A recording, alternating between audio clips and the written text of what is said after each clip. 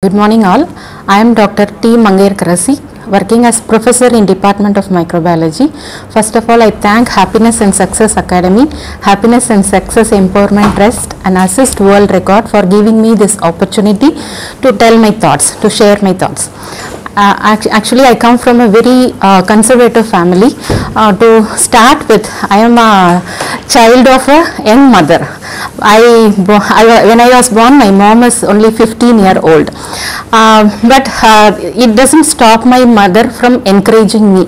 She uh, she encouraged me in doing in pursuing my studies, and uh, I have uh, my father as a role model, who is the first graduate in our family, and he, the the quote he always tells us, "You are the one who has to decide how others have to treat you. Don't let others let you down. Always keep your self-esteem." Think uh, he always he taught me about self-respect. So uh, after joining my uh, UG in Annamalai University, that is Rajah Muthiah Medical College, I finished my UG at 2000, and I got married in an even more conservative family. Okay, so even more conservative family, but my husband is a doctor.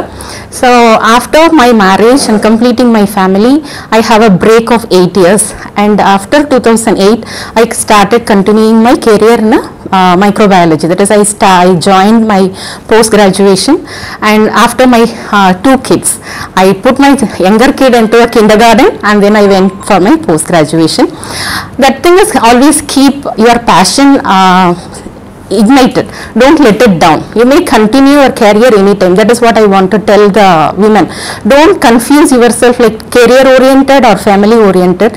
Keep the balance between those two. You can take break in a family and go to a career. You can take break in a career and finish your family. So have a balance in both. And then uh, after uh, uh, finishing my post graduation i joined here in um, manakula vinayagar only as an assistant professor.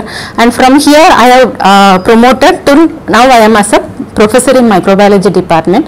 And i also have an interest in hospital infection control which is a career which is a branch. So i finished some certificate courses in that and all.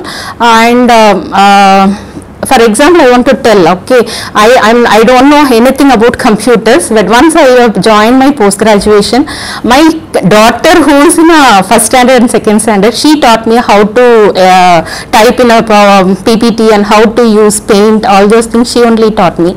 So it is not like uh, uh, thing like you have to break something like that and all. You can continue your career or your passion anytime.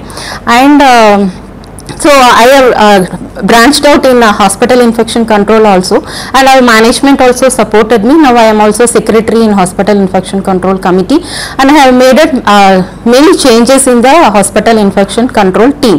So we have now a, a bigger team of seven members who is working in hospital infection control and all. So it is it started with a scratch. So everything is only thing is you have to keep your mind, put your mind in it and you have to work. Always think that uh, going uh, forward is not a big step. Each step you have to take it as a one step forward itself is going forward. Don't think about taking a leap immediately. That is what i want to tell. And uh, after uh, my post post graduation also after a 8 years gap again now i am pursuing my uh, phd i joined in a uh, mahatma gandhi uh, institute only which is also a private institute. But now i am continuing my post graduation so it is like always you have uh, I always tell like family support is a must for a women to continue. But even if family is not supporting make them support you. That is more important. And one thing I want to tell is uh, teach your kids both male and female to respect others accept everyone as they are. Don't uh, uh, lose your self esteem that is what i want to tell everyone.